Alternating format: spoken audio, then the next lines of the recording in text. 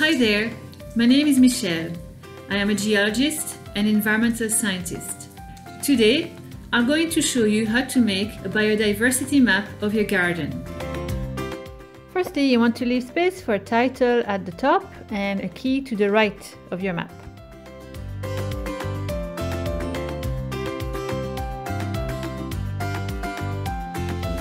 Then you will draw your base map. So that's the shape of your site or your garden. So you can use Google Maps or go for a walk around the garden and draw the shape of it.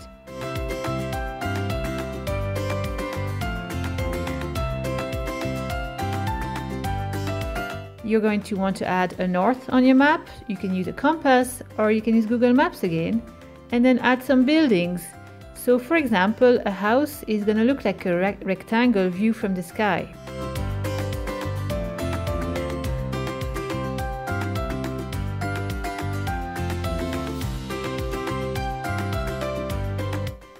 And then you want to add your biodiversity. So you can choose to add all of it or focus on plants, trees, insects, birds.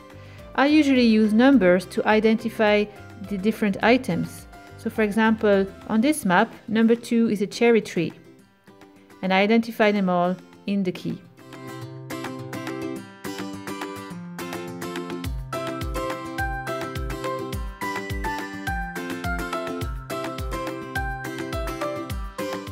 And then the last thing, make sure you sign it. You're the cartographer.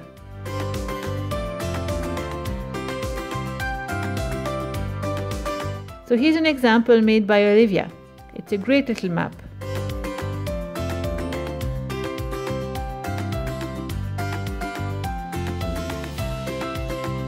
Make sure you stop at any stage of, of this video so you can focus on the different items of the map. Good luck!